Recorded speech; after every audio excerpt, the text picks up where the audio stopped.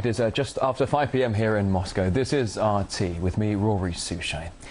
Thousands of Palestinians are marching all across the West Bank to support their leaders' move to win recognition for their state at the United Nations. There's an atmosphere of jubilation as government services and schools were closed to allow people to go out onto the streets and demonstrate. RT's Paula Slier is there in Ramallah for us. We'll be touching base with her in a short while. But for now, we can talk to her. Dr. Ghassan Khatib, the head of the Palestinian Government Media Center, joining us now live from Ramallah. Uh, good to see you. So there are reports suggesting that President Abbas has accepted a compromise and, and the vote could actually be postponed. Uh, how likely is this? What do you know?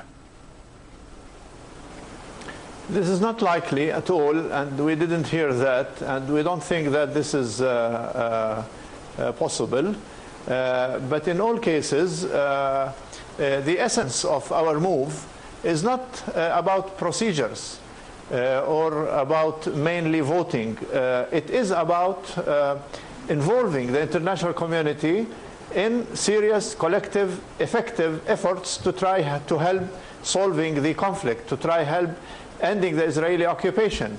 And we already succeeded uh, in, in, engaging the international community in serious diplomatic collective uh, efforts that we hope will enhance the recognition of the Palestinian state, but also help resuming a meaningful peace process uh, with proper international supervision and terms of reference, in addition to hopefully uh, making some efforts to convince Israel to stop its violations to the rights of the Palestinians, especially by stopping the expansion of settlements, because it has been recognized as the main obstacle for the peace process. Well, as you say, there certainly does seem to be a swelling of ground support uh, for the Palestinian leadership, Palestine to have its uh, uh, seat at the United Nations. We believe that 140 uh, different countries, different states are calling, showing their support uh, for this. But if the vote does take place, uh, what do you think the outcome is likely to be? We understand you're just saying Israel is the main opponent to this, but if the vote is a success, what's the outcome?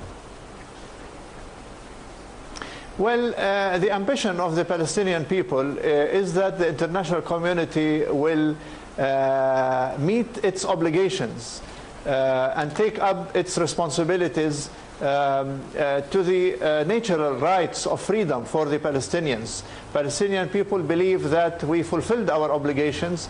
We completed uh, uh the building of the institutions of a state. Uh, and we are uh, developing an effective security system and other government agencies and that it's about time for the Palestinians to enjoy uh, uh, statehood and independence. That's why we're hoping that the majority of the members of the international community will vote for ending the occupation, will vote for the independence of Palestine. At the end, the international community is in consensus on uh, the two-state solution. We already have one, Israel. It's about time to have the other one, Palestine. As, you, as you were saying, though, there is a massive uh, amount of global support here for the establishment of Palestinian statehood here. Uh, as we were mentioning a, a, short while ago, 140 states showing their support. But let's talk about this. As you were mentioning, uh, Washington, America and Israel, uh, America threatening to veto uh, the vote, Israel showing firm opposition to this. How is Israel likely to react if indeed Palestinians are granted statehood? What do you expect to see? Well, Israel is threatening uh, of uh, uh, imposing economic sanctions and other kind of sanctions. Uh, but Israel must get serious messages from the international community that they cannot have a free hand uh, in exploiting the Palestinian people and the Palestinian occupied territories. Israel has been enjoying uh, uh, the fact that the Palestinian community, the, the international community is hiding behind the bilateral negotiations and stalling these talks mainly in order to continue with the illegal settlement expansion. It's about time for the international community to deal in more direct and in more effective way with the Israeli insistence to continue violating the international law. Uh, we're not talking about anything beyond what the international legality would guarantee to us. It is part of the foreign policy of every single country in the world that the Jewish settlement expansion in the occupied territories is both illegal and an obstacle to peace. If we are serious about achieving peace, so it's about time to remove this obstacle, the settlement activities in our land. Now, as we were saying earlier here on RT, uh, certainly the, the, the world's eyes are on America, on Israel, and certainly on the UN in New York. Dr. Qasim Khatib, uh, the head of the Palestinian Government Media Center, live in Ramallah, thank you very much. All right, uh, well, let's uh, get back now to continuing with the story here. We'll uh, cross back live to uh, RT's uh, Paula Slier, who is in Ramallah for us. And Ramallah, uh, um, excuse me, Paula, thank you very much for standing by for us. people in Ramallah they certainly seem to be in high spirits today. how high are the hopes that statehood can actually be achieved, do you think? Well, the high spirits are not only here in Ramallah, you're seeing high spirits right across the West Bank. It's estimated that some 20,000 people have taken to the streets of Ramallah.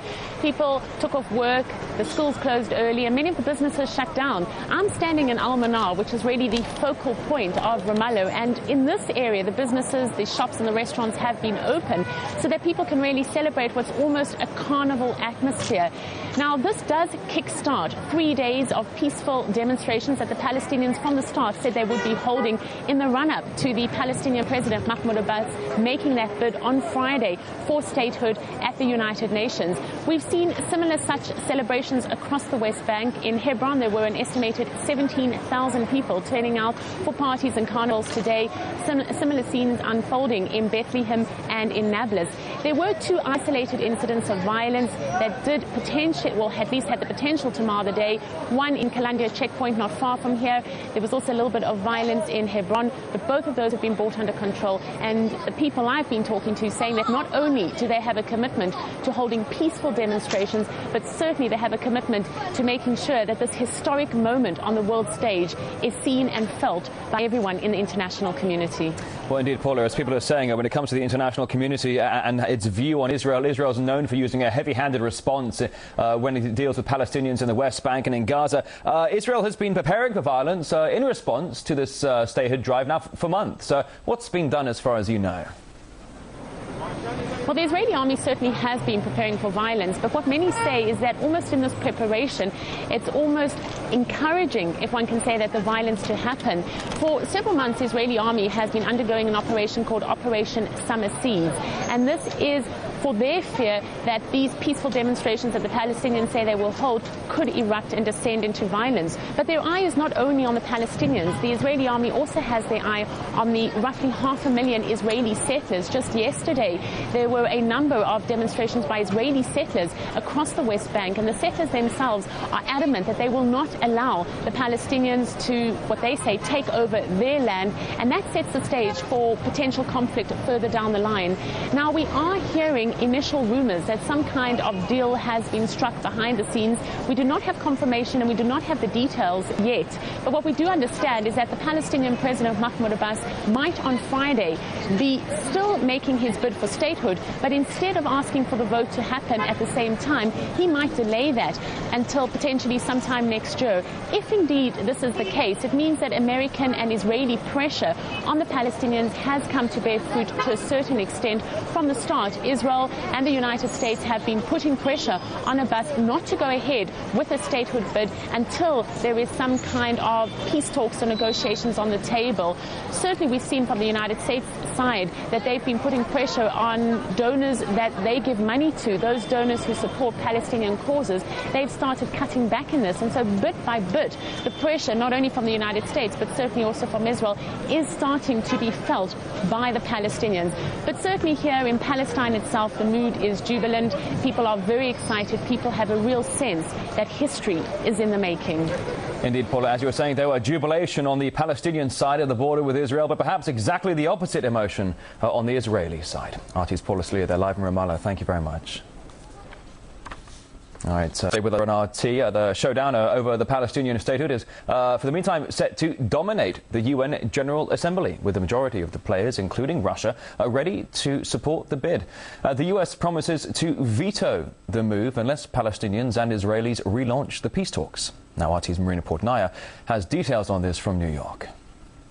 The issue that remains at center stage for those attending the United Nations General Assembly is the issue of the Palestinian campaign for UN membership and statehood. It's something that the majority of the General Assembly does support, but it is something that the United States has been speaking out against. Now, the U.S. has threatened to use its veto in the Security Council because no sides, Palestine or Israel, uh, are ready to return to the negotiating table.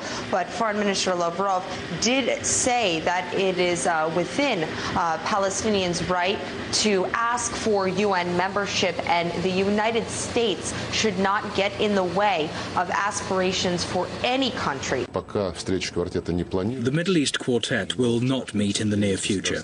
The recent meeting with the U.S. Secretary of State, Hillary Clinton, has showed that the U.S. would not like to see the Palestinian question raised at the UN.